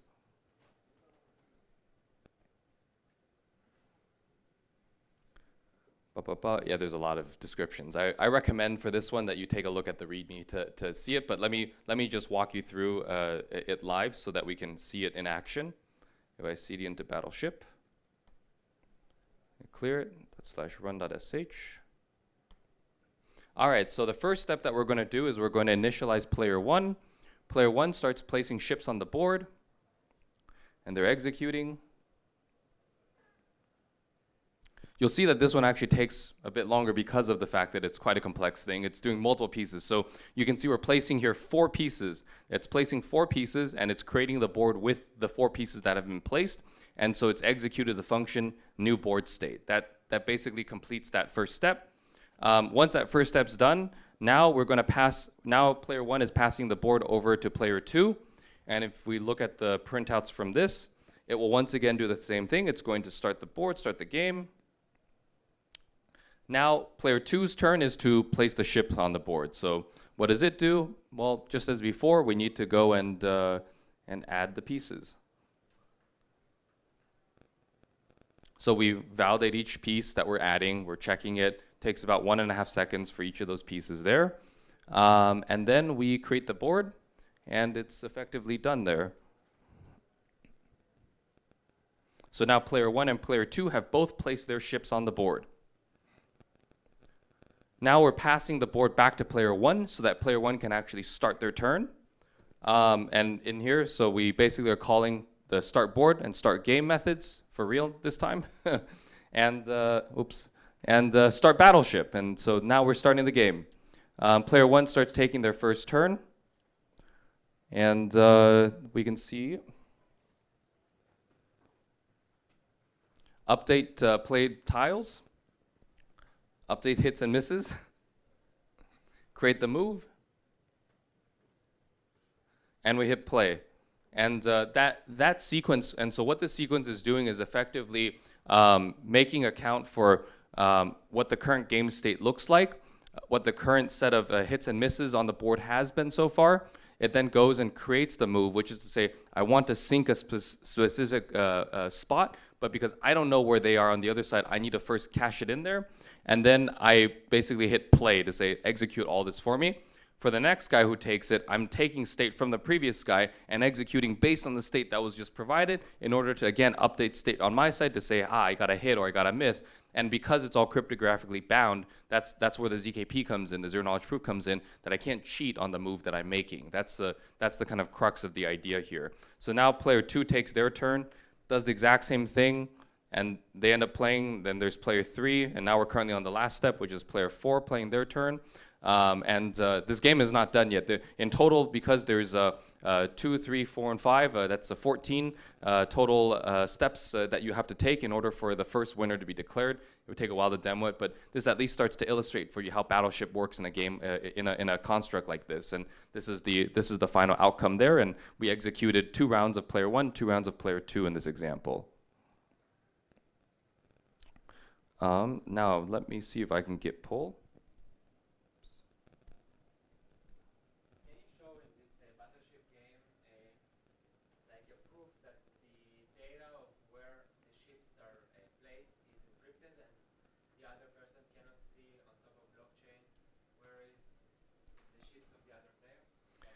Yeah, exactly. That's the that's the basic premise here. Is that is that um, what I'm showing you is what you can see, which is which is on, which is really nothing. That I can't see the other opponent's board. Um, and in this model, like the way that that you're actually doing is I'm encrypting that state under my account. So because of that, only I can see my state. But I have to reason because of the the game logic that we've all agreed upon in the program. I have to execute this logic. I have to take his move and process it against my game state and send this back over to the other party for, for, for reasoning there. So like the intuition is that you, you can't see each other, if that makes sense. So I believe there is actually, oh, it's probably on a branch where we may need to, here, let me, one second.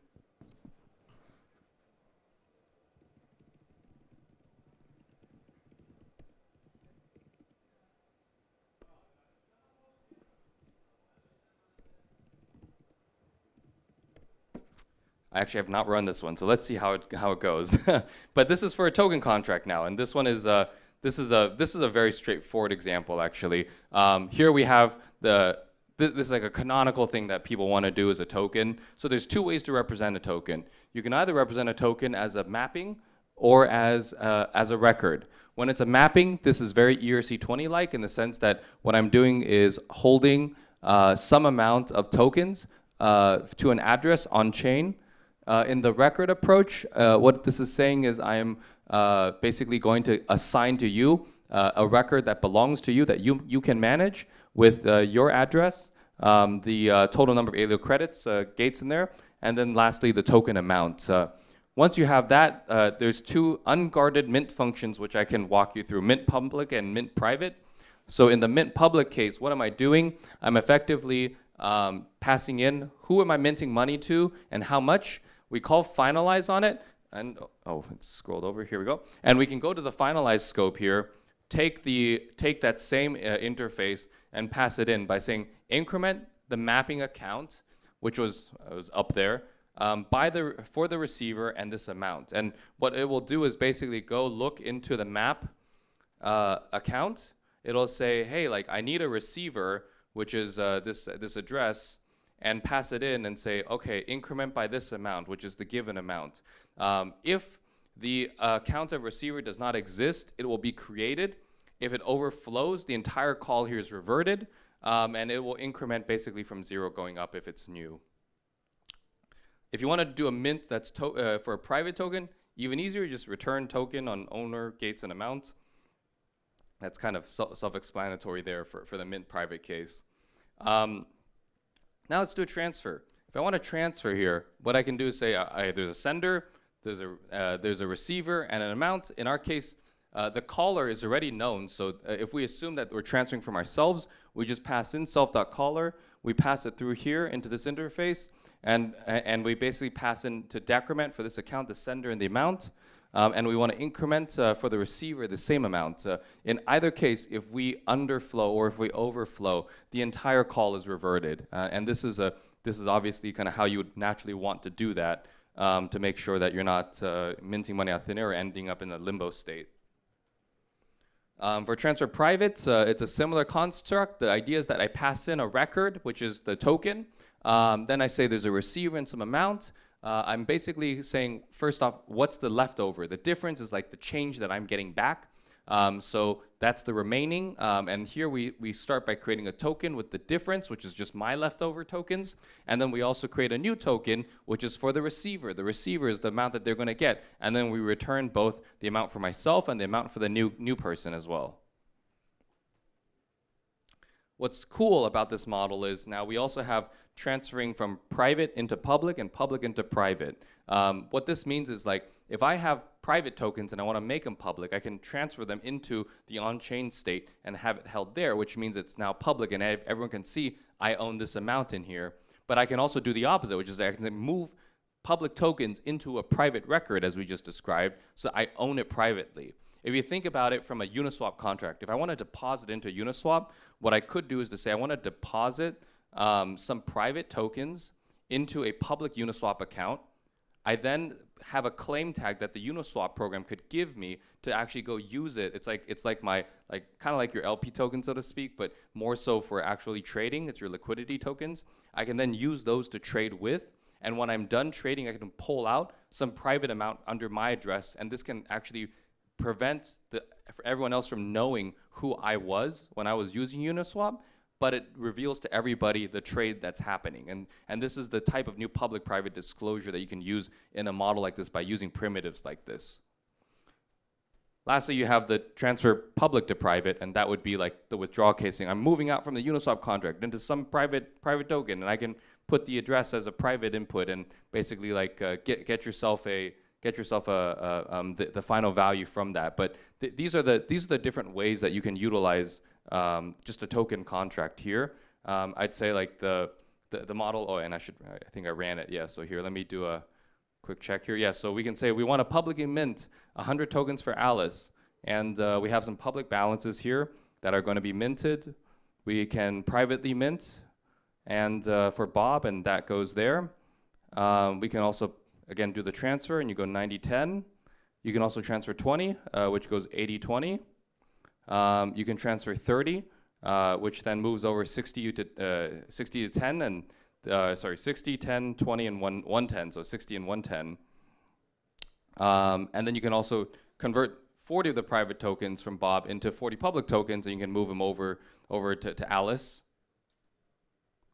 And those are the main examples there. And these, this is the token contracts. These are, these are all available on the GitHub workshop there. Um, I believe I'm coming up on time here, so I'm just going to wrap up by saying that this is the Aleo GitHub repo. Um, for those who are interested, the repos that we were just talking about are all available here. There's Snark OS, SnarkVM, there's Aleo, which is the uh, underlying Aleo instructions, and there's Leo, which is the programming language. You can install these just by coming to the repos and doing it, or going into the workshop repo and hitting dot slash install.sh. Um, but with that, I think I'm out of time, and uh, just want to say thank you very much.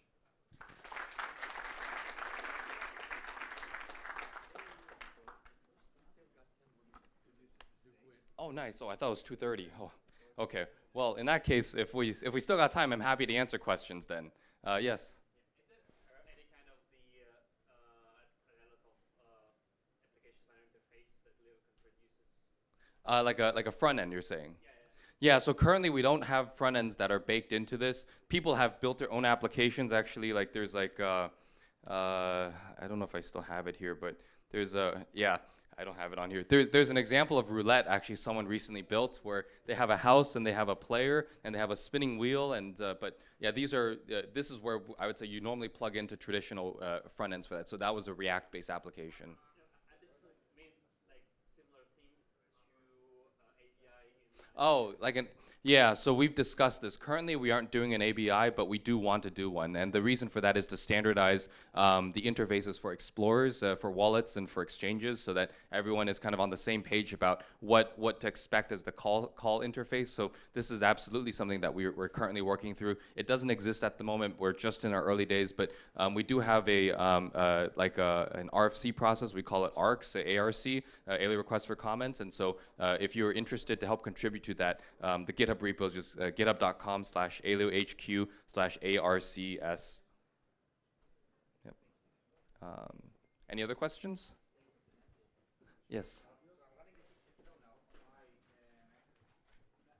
First time I ran it, everything went smoothly, and now it's like every other movement, it needs to download the block. I guess it's the the difference between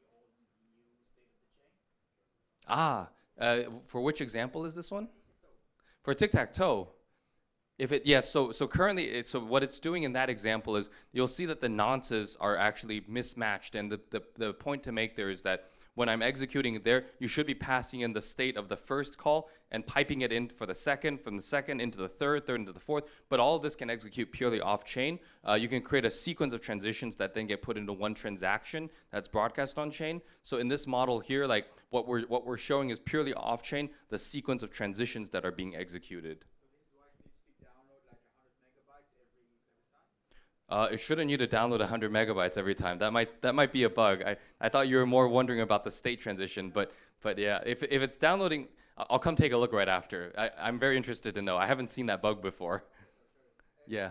Now, a question, uh, do you think about utilizing GPUs instead of CPU in This is a great point. So in uh, in SnarkVM, we do have some CUDA implementations. I'll say it's very, very early and very bare bones. So like the performance of it is not that much better than CPUs. I know outside uh, other people in the community have already created versions that are 2x and 2.5x faster than CPU. And so you know we obviously encourage people to do that with the um, Coinbase puzzle that we'll be releasing that allows anyone to run a prover and, and earn tokens for, for running efficient provers. Um, I anticipate people will go into FPGA uh, domains kind of very quickly from there. Yes. Uh, I wanted to ask in the token uh, application, uh, the function when a function returns a record, what does it mean for the change in state of the blockchain? Is it really clear? Yeah, so so basically, um, every one of those calls needs to be broadcast as a transaction on chain. Uh, once it's confirmed on chain, then what happens is that it, it will update the state. So if it's a private token, the only thing that gets updated is the fact that there's a new record commitment that was produced. If you're spending a private token, you're, you're, you're producing a serial number that the record was, was consumed.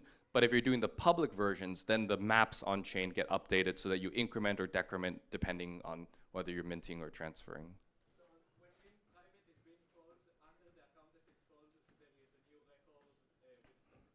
Exactly, and that new record will live on chain, but it'll be fully encrypted, and the only thing that you'll know is the commitment. The commitment is like your ID into that encrypted uh, record, and so only you, uh, as the owner of the record, can go and decrypt it and see that record again. Okay, but then in the transfer private, you're creating two records, and one, uh, as far as I understood, should belong to the Exactly, other person that gets the record. So exactly. wh- where in the code does it specify that, like, the record of the amount the other person ha- has is in my record? So how does it make sense? How Exactly.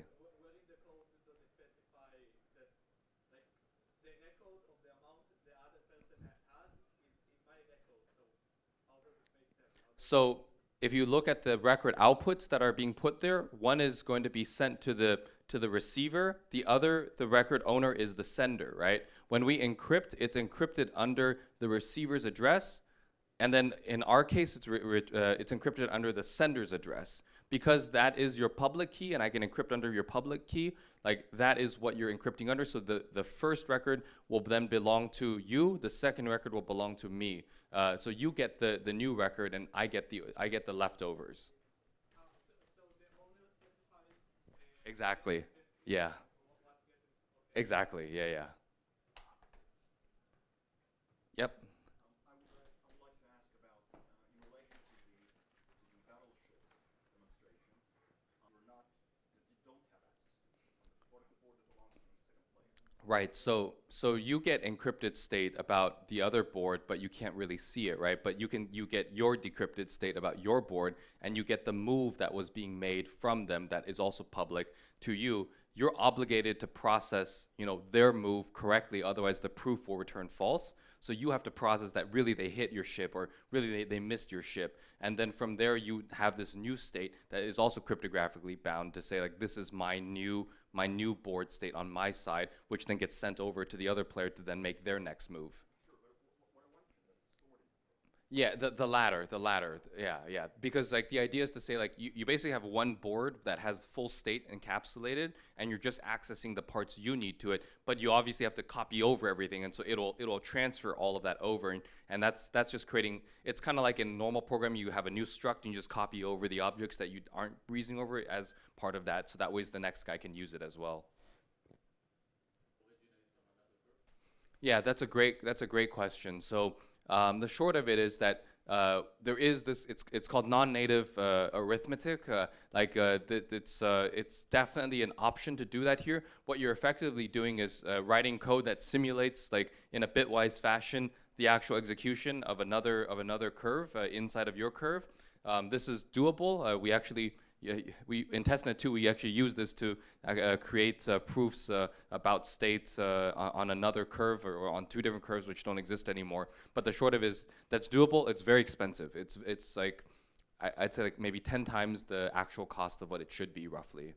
So it is theoretically doable it is practically doable but in but in reality like uh, it's it's a it's a big cost to go and make that make that jump there. And that's where like there's obviously new new approaches within pure academia and in the research domain of trying to design systems that can be more kind of bit based so that you can actually kind of on a boolean boolean kind of construct uh, navigate multiple curves uh, based on what you want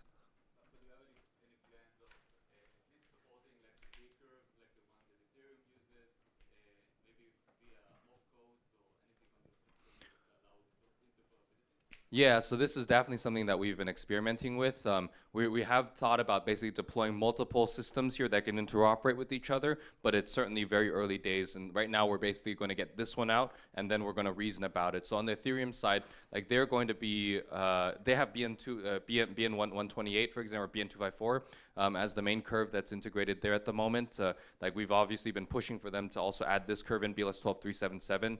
Um, it's actually ourselves, Filecoin, Celo, and a few others who are all, all wanting this specific curve in because we use it. Um, but uh, there's also BLS12381, which is the other curve that's out there that they're using. So um, like at the moment, it's an open discussion. I certainly encourage or hope that uh, people will kind of help to navigate this because it's a community effort to, to get those in. But um, from our side, we're also looking at avenues to, to do this. So we've also thought about using uh, quorum, quorum networks that can handle light clients of multiple chains, and for them to do threshold signing on ECDSA, EdDSA, Schnorr, et cetera. Um, this way you can then also interoperate in other ways as well.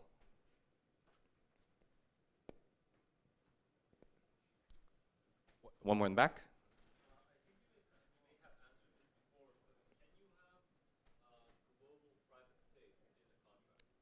Great question, and it hasn't been asked yet. Um, the short answer is yes, uh, but the long answer is uh, currently no. Um, the way you do it is that in an off-chain, in the in the function scope, you want to basically write uh, the uh, Alberto, you like can you, hear me? you want an opcode that can You can basically hear me, like Alberto? encrypt for you, and then you pass the encrypted Okay. state into finalize. Obviously, from there hot, you won't one, be able to do any further computations uh, Alberto, with you that hear me? state, uh, unless Hey. you have homomorphic can encryption, in which case hear you can do some, you know, PHE is obviously very practical, and you can do that today in here. But uh, uh, uh, we do want to add on-chain global private uh, state maps as well. Um, but the lift for that is obviously very high, and so like that's a, that's a later to come feature. But yes, very good question. Yeah. All right. Well, I, I know I'm one minute past now officially, so um, thank you again. Really appreciate it, and uh, please check it out. Um, yeah. Thanks.